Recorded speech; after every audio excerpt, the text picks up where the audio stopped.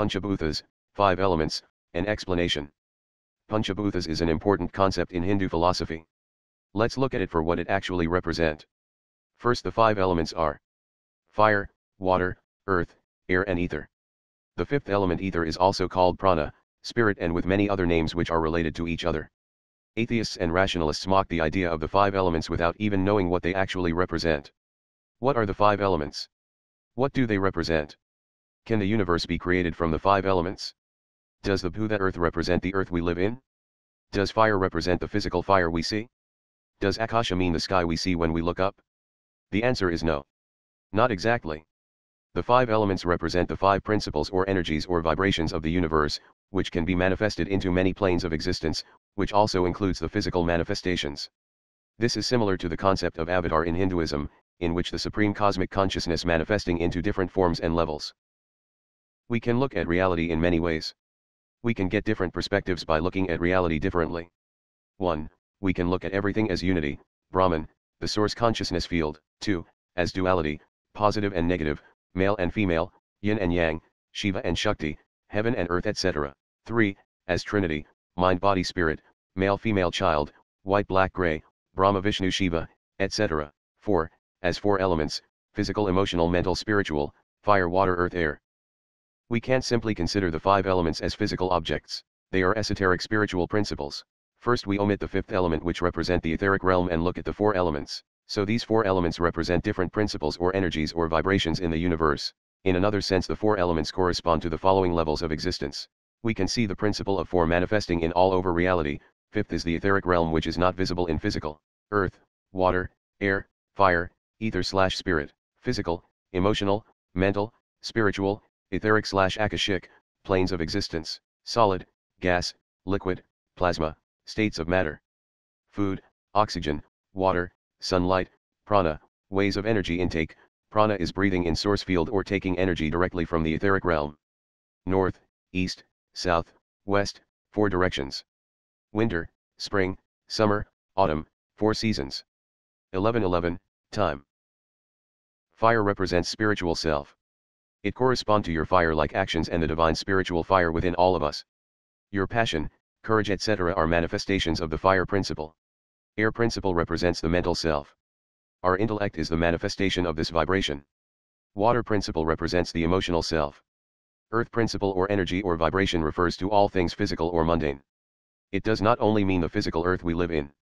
Rather it represents the energy slash vibration that determines the physical characteristics of everything in the universe, which also include our physical Earth, and our physical body, stars, planets, galaxies etc. Atheists view this universe as material. Earth is just a rock floating in space, planets and stars consist of only material things. Life has no purpose, the universe is evolving chaos, there is no balance anywhere, nothing has a purpose etc. are the amazing teachings the modern material scientists have given us. What a shame. Hinduism differ. It views the universe as alive, the earth is alive, the planets are alive. Everything has an Atman, a spirit, plants, animals, planets all do. Everything has a purpose. There is order and balance, there is spin or polarity to balance two sides. The Earth principle only determine the physical characteristics of planet Earth. Our planet has a soul, a collective consciousness called Gaia, which is based on the fifth spirit principle. It has emotions, the manifestations of the water principle or energy. All planets do have emotions and emotional characteristics. They also have spiritual manifestations of the fire principle. They also have varying levels of intellect based on the air principle. This varying energies, emotions etc. of planets and stars are used in astrology. Planets and stars do influence you. Everything is connected. Rationalists won't understand the connection between everything. It is because they only have the left brain activated. They can only analyze things separately, they can't think of the connection between things. They study things taken separately or closed systems and believe that all they discover is the absolute truth. They never understand that there is no closed system in nature or anywhere else, and everything influence everything else.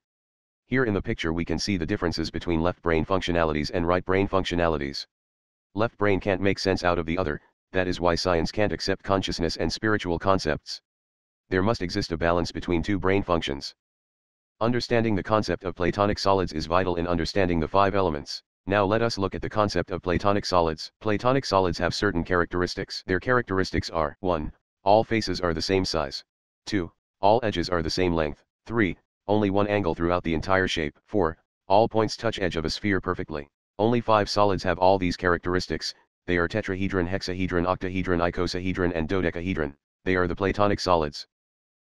Platonic solids are the manifestations of the five principles or energies or vibrations. Sound creates geometry and structure. The entire universe is at its current shape because it is created from a sound. The cosmic vibration of Om. When the sound frequency changes the pattern changes and matter changes. So these five shapes or Platonic solids represents the five elements. This is the original knowledge of alchemy. Everything in the universe is based on these five elements, for the physical we only require four. Ancients kept this knowledge very sacred. Figure shows the Pythagorean cosmic morphology representing the five Platonic solids represented by five elements. Gaia represents the fifth element the spirit or collective consciousness of planet Earth, which is a living being. The fifth element, and the sixth. The fifth element is very important, we can consider this as five elements or separate as fifth and sixth, according to our model. Anyway it is all the same, as everything in existence is primarily based on this vibration, ether, prana, akasha, spirit, consciousness field, void, Gaia, chi, Brahman all these terms are basically related to this fifth element, the soul of the universe. The nothing and everything at the same time, the unmanifested infinity, or Nirguna Brahman, all is this void or the field that exists in it. Explaining this is not the scope of this video, maybe later. In case of the Platonic solids dodecahedron represents the spirit slash ether. Dodecahedron is basically the awareness of all the other four elements.